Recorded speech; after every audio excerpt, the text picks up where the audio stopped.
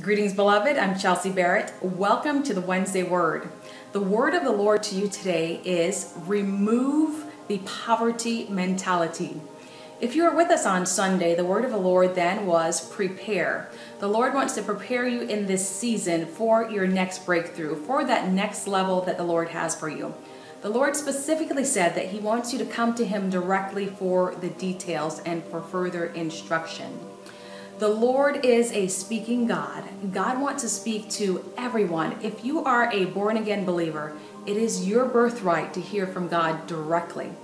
John 10 27 says, My sheep hear my voice. That means if you are a born again believer, Jesus is talking to you. You just have to be able to get yourself in position where you can hear from Him yourself. God uses me and this ministry as a tool, as a resource to help you to hear His voice. Our mission statement here at Freedom's Calling Ministries is simply helping you hear the voice of God so you can maximize His promises.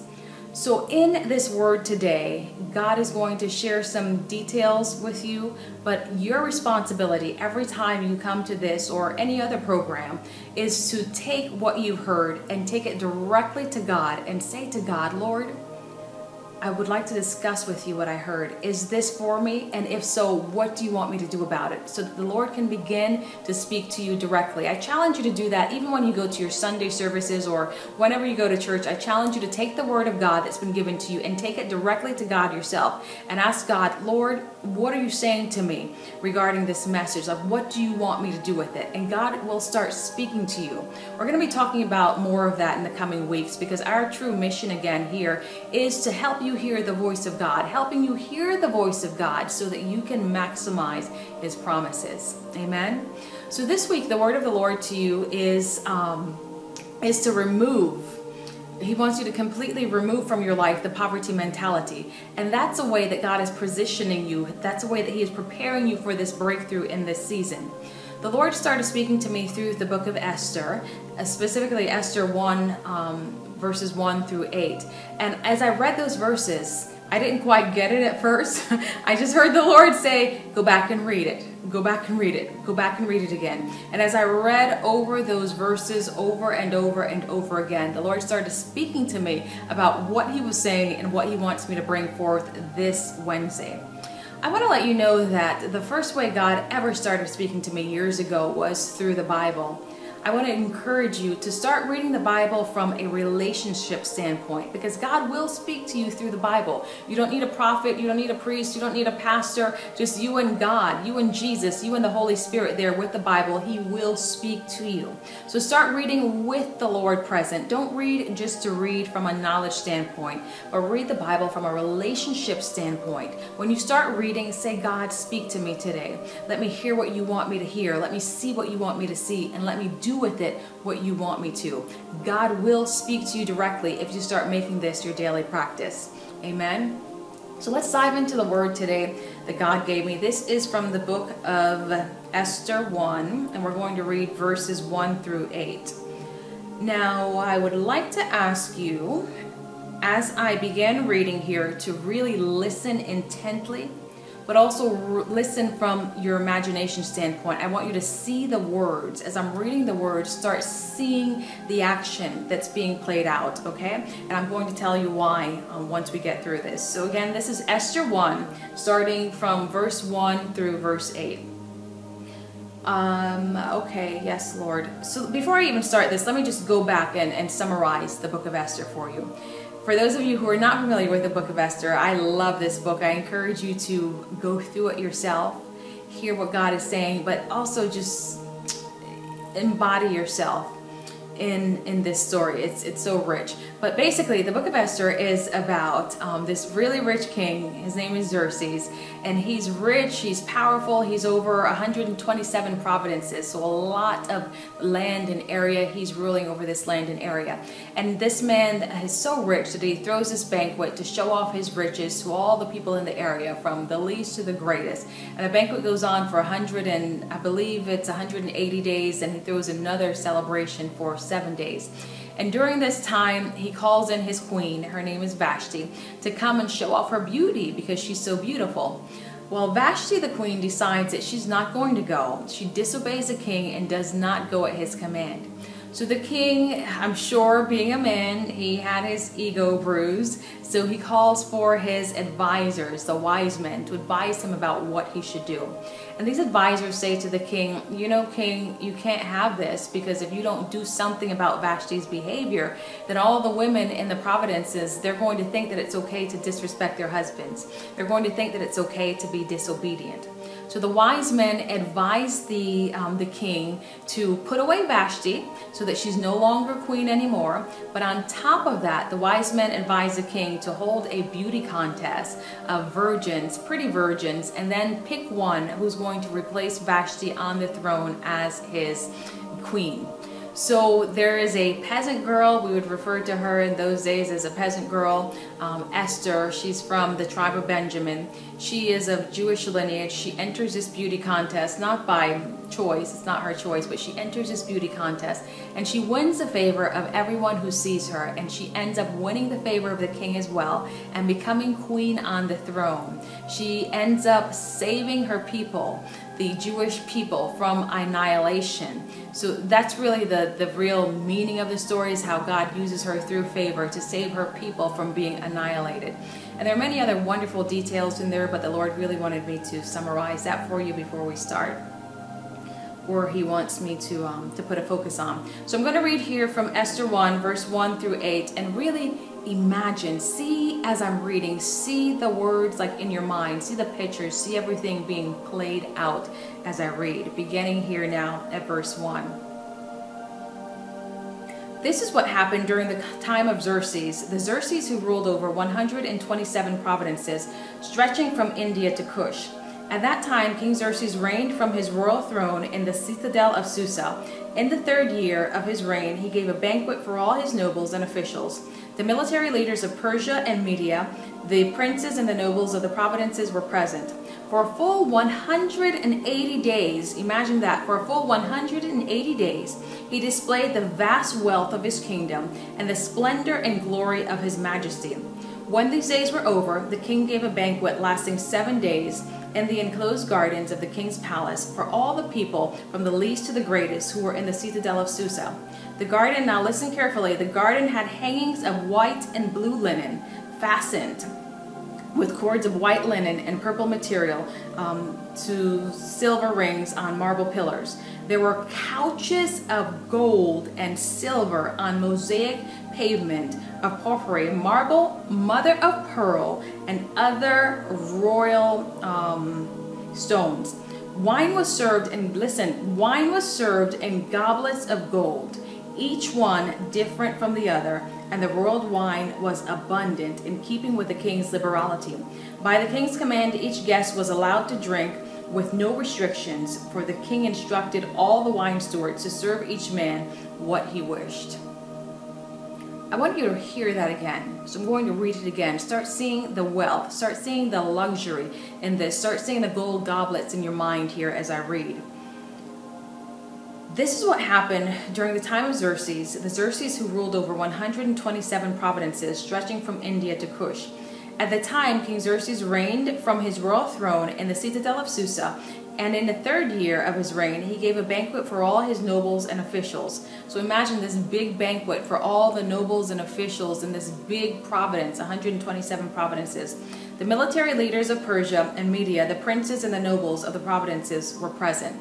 So this would be like the president of the United States throwing a big bash but even on a larger scale, because even though our country here is really big, it's not 127 provinces. So it would be like the king of the world back then, just throwing this big bash for all of his nobles and his officials. And this went on for a full 140, 180 days, it says. For a full 180 days, he displayed the vast wealth of his kingdom and the splendor and glory of his majesty. When these days were over, the king gave a banquet lasting seven days in the enclosed garden of the king's palace for all the people from the least to the greatest who were in the citadel of Susa. Here we go. See this in your mind. The garden had hangings of white and blue linen, fastened with cords of white linen and purple material to silver rings on marble pillars. There were couches of gold and silver on mosaic pavements of porphyry, marble, mother of pearl, and other costly stones. Wine was served in goblets of gold, each one different from the other. And the royal wine was abundant, in keeping with the king's liberality. By the king's command, each guest was allowed to drink with no restrictions. So, no restrictions at the bar. For the king instructed all the wine stewards to serve each man what he wished. I hope you really got a picture in your mind of what the scripture is saying here. This was a big deal. This wasn't just a nice party. This was a royal party with goblets of gold, with couches made out of gold and silver, with the finest wine, with the finest type of stones that were around. This was a royal gathering. As I began to read this over and over again, the Lord started speaking to me. He first spoke to me to tell me, go back and read this again. I read it the first time. I thought, okay, Lord, I don't really understand what you're saying here. And the Lord said to me, go back and read it again. So I went back and read it again. I'm like, okay, well, this is good. Go back and read it again. So I went back and I read it again. And I started hearing more. The Lord started speaking to me more about what He was saying. And I just want to say right here before we move on one of the first ways that the Lord ever spoke to me was through the Word of God that was where he really began to start teaching me the sound of his voice and started downloading into me information for my life. I want to encourage you to start reading the Bible every day if you don't already. It doesn't have to be 10 chapters. You read what the Lord tells you to. But start reading from a place of relationship versus just reading for knowledge. When you read, before you start, speak to the Lord and ask God, Lord, reveal to me yourself. Jesus, let me see you in this Bible. Lord, speak to me. Tell me what you want me to hear, Lord. Speak to me, please. As you begin to do that on a consistent basis, the Lord will start speaking to you. The Lord wants to speak to you personally and directly. So as you start doing that, I admonish you to, even when you go to church on Sundays or whatever service you go to church on, take that service and bring it back to the Lord. Take it before God and say, okay, God, tell me about this. What are you saying to me? What were you saying to me through the scriptures that the pastor read? What do you want me to do with this? And you'll start to develop that relationship with the Lord, and the Lord will speak to you. He's speaking to you now. He'll speak to you in a way that you can truly identify and understand for yourself as an individual. Amen. But going back to the word that the Lord shared uh, with me to share on this program, the word is that the Lord wants you to remove your poverty mindset, to prepare yourself for this next season that you're entering, this open door that you're right on the cusp of. This is a part of the preparation process. I said, okay, Lord, poverty mentality, like Book of Esther, like what are you saying here? You need to speak to me more. And as I'm saying this, I just want to encourage you as you start to hear the voice of the Lord, He may initially speak some things to you that's not clear. You need to ask questions. Keep asking questions. Okay, Jesus. Okay, Holy Spirit. Okay, Lord, I don't understand this. Can you speak a little bit more to me? Can you tell me a little bit more about this? Well, I didn't get it when the Lord spoke it to me initially, so I had to keep asking, okay, God. And He kept saying, go back and reread, go back and reread. And I did, and initially I still didn't make that connection.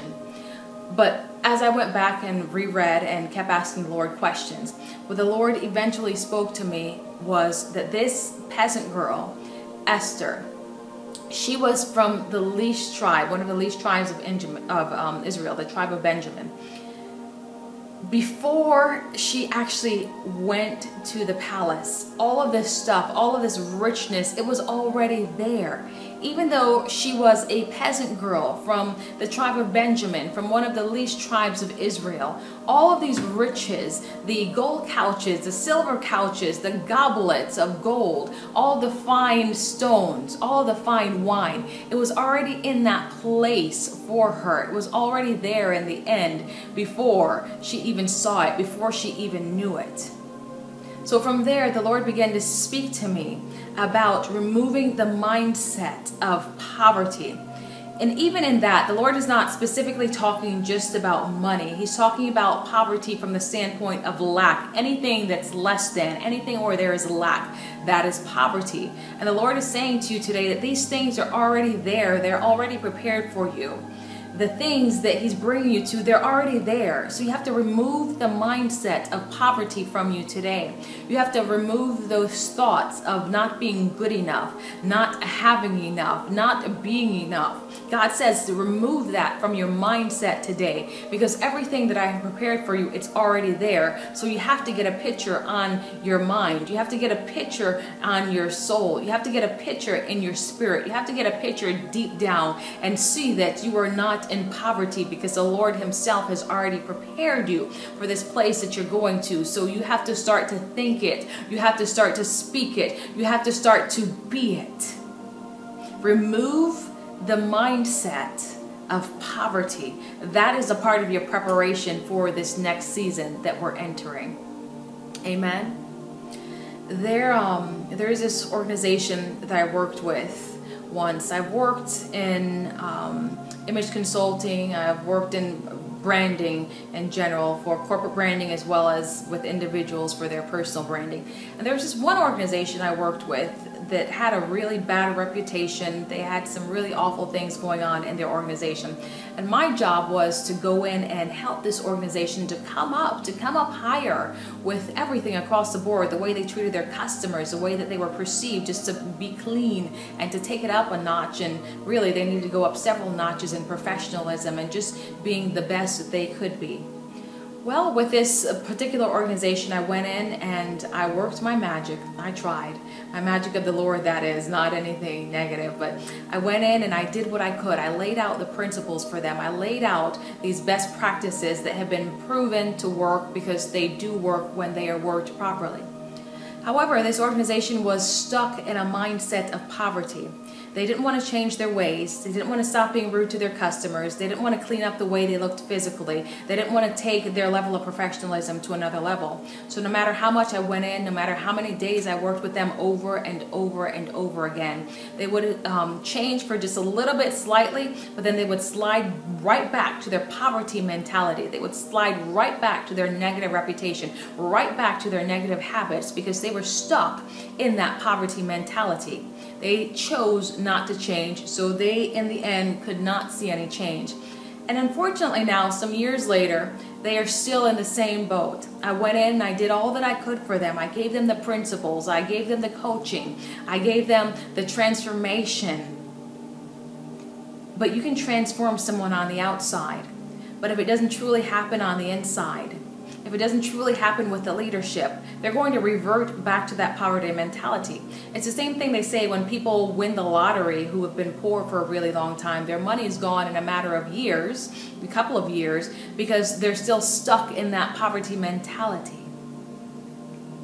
On the flip side, I've worked with organizations who were literally in poverty. They didn't have anything organizations and individuals, they didn't have anything. But I was able to work with them to change their mindset, to show them the end from the beginning. This is where you're at right now, but this is where you're going. So if we can change your mindset, if we can get you up to that place where you release the poverty mentality, then we're going to remake your life and we're going to transform your business, transform you as an individual into being that royalty that you were called to be. I don't care if you don't have much money. I've worked with individuals and designed them over, remade them over on a Dollar Tree budget. I've worked with organizations who had a budget of under $500 to really uh, do some things. Money's not always the biggest factor. It has to take place in your mindset. That's where it all begins. It's in your mindset. You have to get that shift going in your mindset in order to release that poverty mentality and receive the royal mentality. Again, I'm not saying that everyone's going to the palace because God hasn't called us all to be millionaires or to um, to be entrepreneurs. Not everyone's called to that destination, but everyone in the body of Christ is called to a level of distinction. God wants you to do the best that you can with what you have available. And in order for you to do that, in order for you to walk strongly in this new season, you're going to have to release that poverty mentality and say, Yes, God, I want to come up higher. Even in things concerning God, you need to release the poverty mentality of thinking, okay, God, well, I pray and you don't answer, or I just pray once a week and that's enough. That's poverty because it's less than. That's poverty because it's lacking. You need to increase your expectation of God, increase your hunger and your thirst for God, increase your relationship with God so that there's nothing lacking, nothing missing, nothing broken. You're giving Him your all. You're coming up higher to that higher level, which He's called each and every one of us to. Amen. So that's the word of the Lord to you today. Remove and release the poverty mentality. See the riches that I have already prepared for you because I do see the end from the beginning and you need to start seeing it so that you can walk it out and be prepared so that you will stay there when you get there. You will fit right in. Amen. Glory to God. Well, I'm going to pray for you today, and then um, we're just we're just going to wrap. We're going to wrap right here, right after I pray for you. So, Father, I thank you, Lord. Father, I thank you that you are an awesome God. I thank you that you are a king. You are not a peasant. Because you are a king, Lord. We are king's children. Thank you for that, Father. Thank you for that, Lord Jesus. Mm. Thank you, Lord God.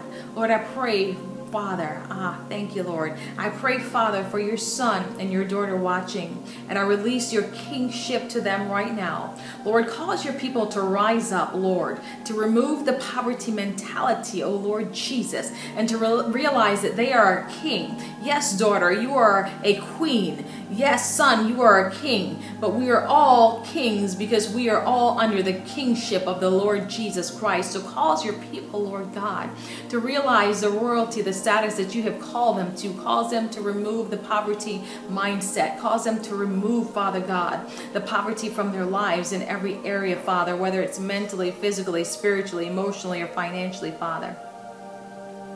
Yes, Lord God. Yes, Lord God, touch them where they're at right now. I pray, Lord God, that they will catch this word and that they will come to you directly, Lord God, for more directions, Lord God, for more instructions, Lord God, and to walk out their royalty, which you're calling them to in this new season, whatever it may be, to walk in the royalty of being a mother, to walk in the royalty of being a wife, to walk in the royalty of being a husband, to walk in the royalty of entrepreneurship, to walk in the royalty of ministry, to walk in the royalty, Lord God, of even receiving their prayer language. I hear the Lord saying, even right now, there are those of you who are wanting to receive your prayer language, and you have to stop believing for the little bit or stop believing that it's not for you because it is for you. So take off that poverty mentality of thinking that you're never going to have enough or that you're lacking. For the Lord wants to give you the full measure of His Spirit. And as you begin to tap into what God is giving you, as you begin to tap into it and see that the flow is for you because God is the source, then you'll begin to flow and move freely in Jesus' name. So, Father, I thank you for that. Lord, I thank you for your people, my brothers and my sisters, Lord, and you bless them, Father, in Jesus' name. Well, beloved, I pray that this has been a blessing to you today. I pray that you will take this word and take it back to the Lord and say, God, was this for me today? And if so, Lord, what part of this was for me? What do you want me to do with it? And even go back and read through Esther 1, verses 1 through 8, and let the Lord speak to you. Let Him minister to you directly about what He's saying to you today as you begin to prepare. Amen. Well, God bless you. I love you. God loves you more. Thank you for tuning in, and I'll see you again on Sunday. Bye bye for now.